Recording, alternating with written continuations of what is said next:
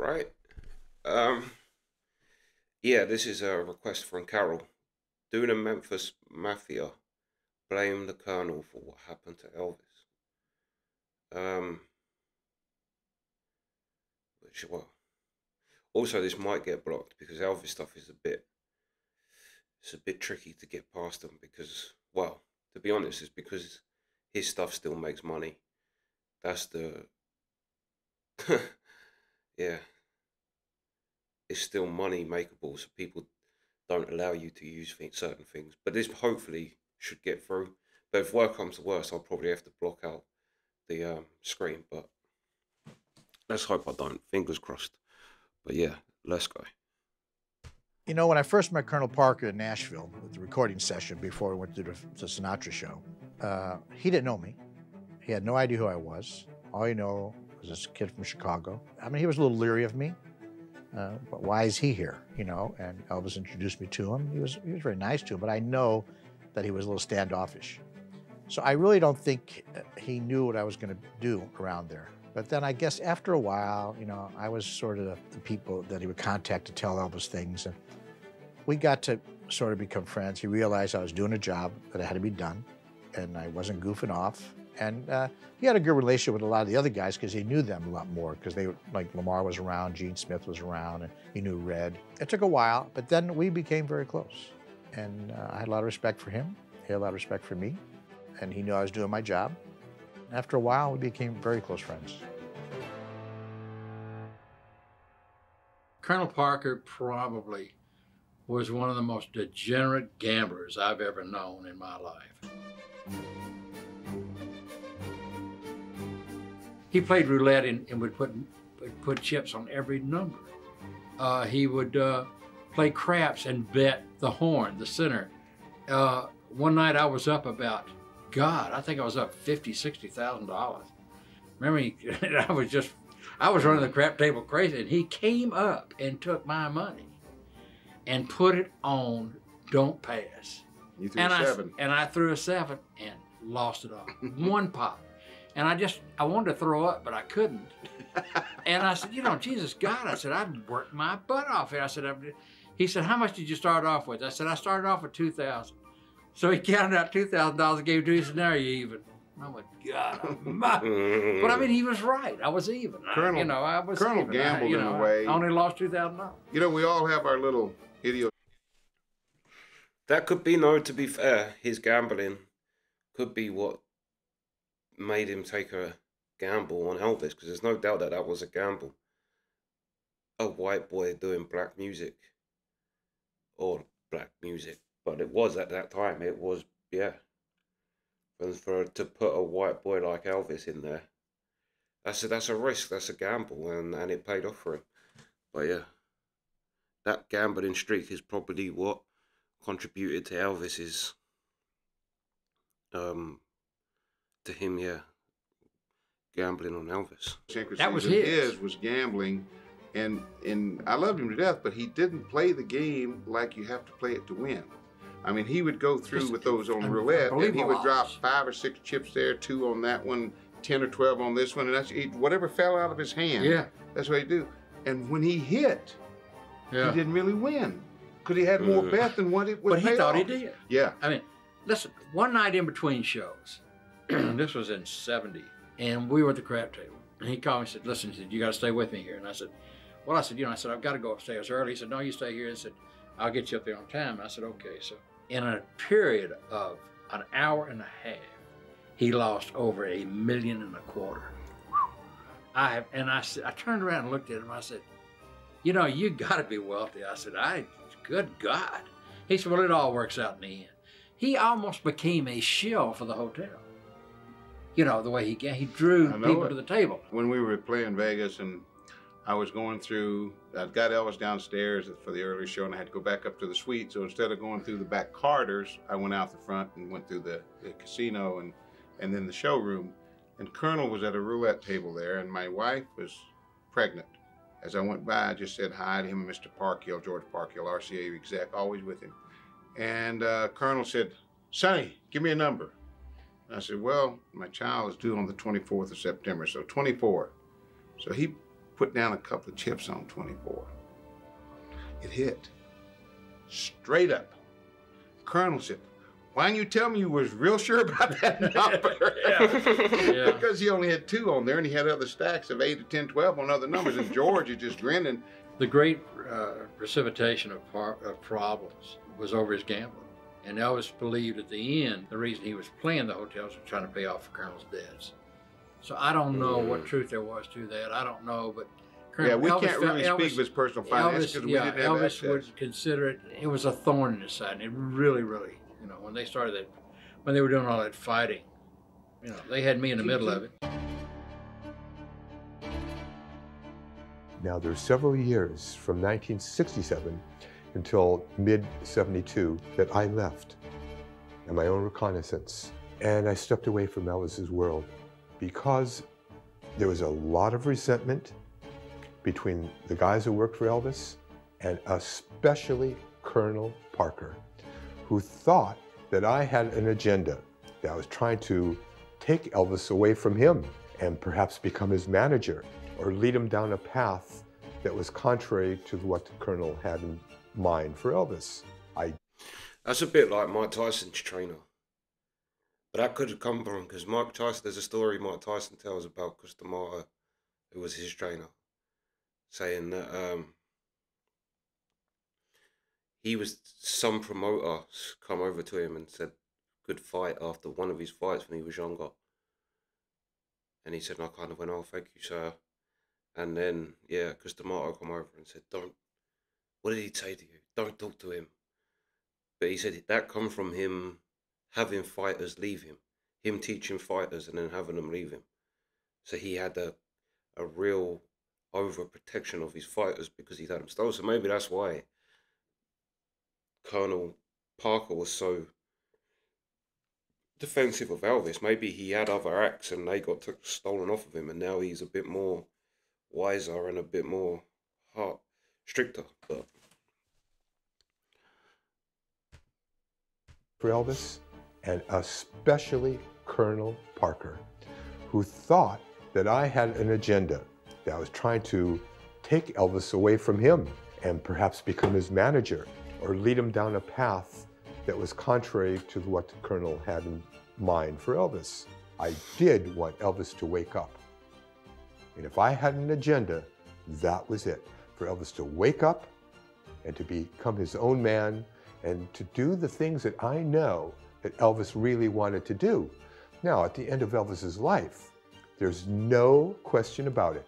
He was on the verge and made plans to fire Colonel Parker, to cut down his entourage to four to five people.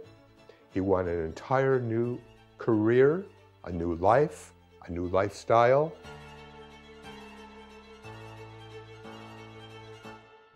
I could not believe how he deteriorated in the year I was gone. When I saw the CBS special, I was shocked and I was pissed. And I called Colonel Parker one of the few times. I called him and I went and met with him. How could you let him be on camera like that? And he said, You're a manager. You have to give the artist uh, uh, offers. I said, How could you? He said, I put an offer out there that was ridiculous. And I took it to Elvis and he wanted to do it. The point is, is that he wasn't in great shape when I left. When I saw that, yeah, man looked like he was going to die. And of course he did. But he didn't look like that when I left. When I saw him in Maryland, uh, he looked pretty good. Towards the end of Elvis's life, his health problems really accumulated and his health was going downhill. I'll never forget the last time he played Vegas.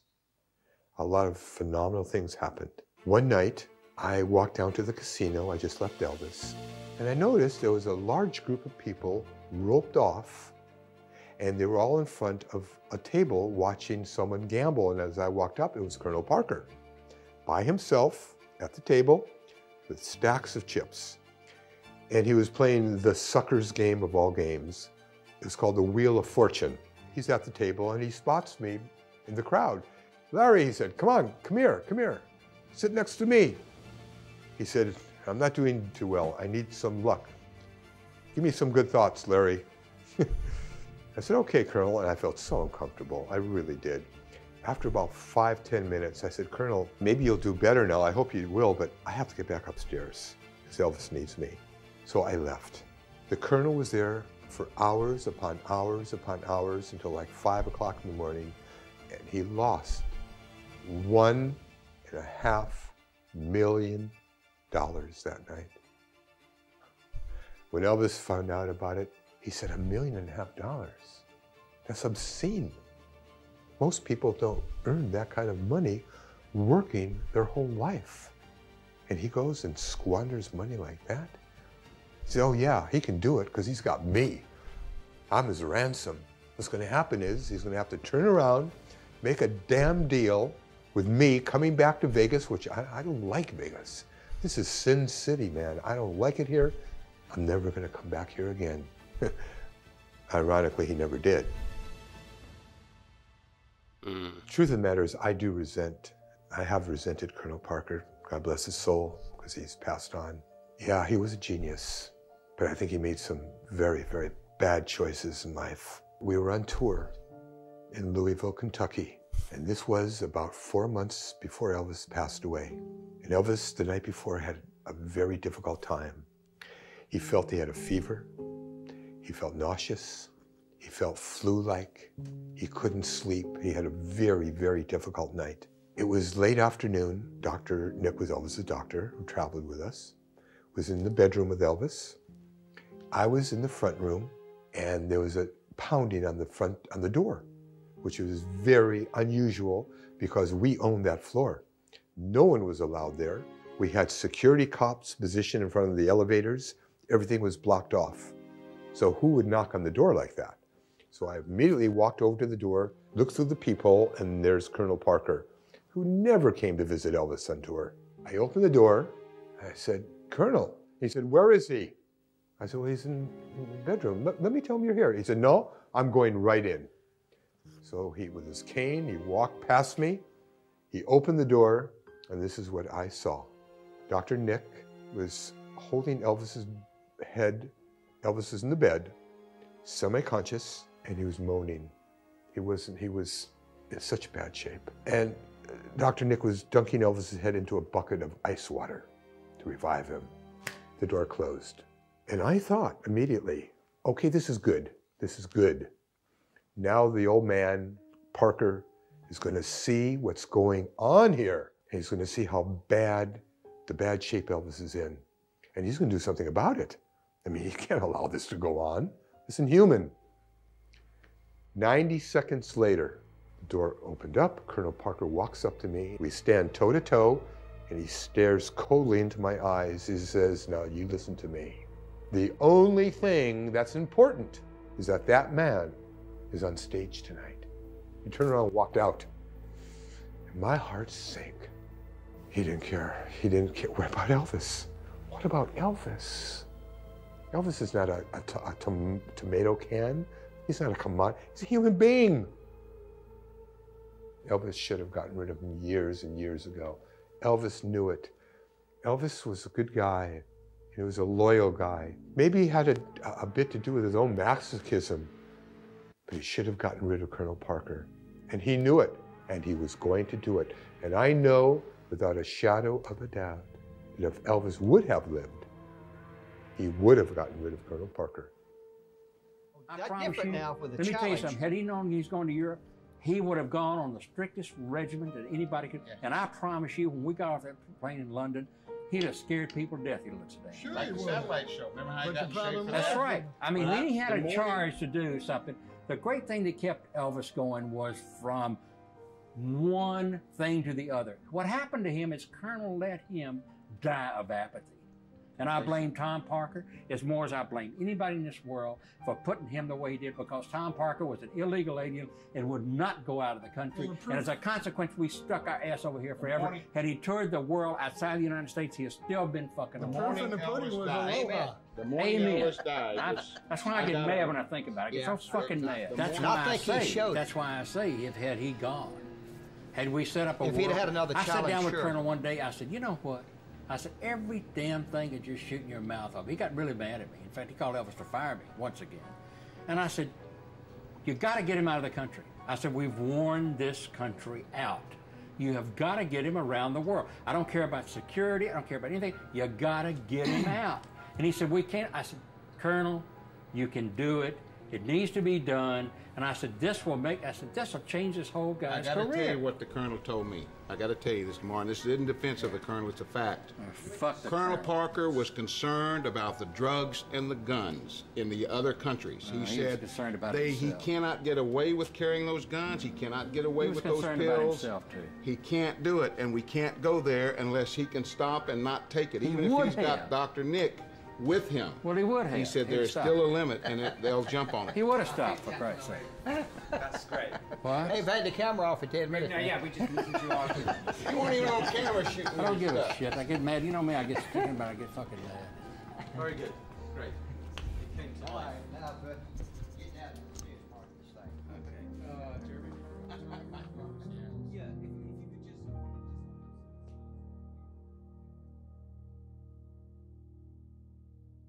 That's a real friend. That's a real friend that made at the end. For someone who's a friend that defends you when you're there is one thing. A friend friend that defends you when you're not there, but a friend who gets that emotionally invested in in your downfall after you years after you died. That's a real friend, and you could see deep in his that bothered him. That wasn't for the camera that was like real it bothered him. And it still bothers him like you could see that distant look of like when someone's not there anymore and they're thinking and that's a that's a friend that's a real friend right there. That's a real friend. You i could feel his emotion welling up in him. Mm. respect to that matey. And yeah it's a shame it's a shame that elvis but then on the other hand, no, Elvis was a fully grown man. No one can do that to a fully grown man without them. Like, no one can save you, and nobody really can destroy you. It's ultimately up to you. And um, so yeah, you can. I suppose yeah, the colonel didn't help, and from this, it's it seemed more like yeah, he was bothered about the money.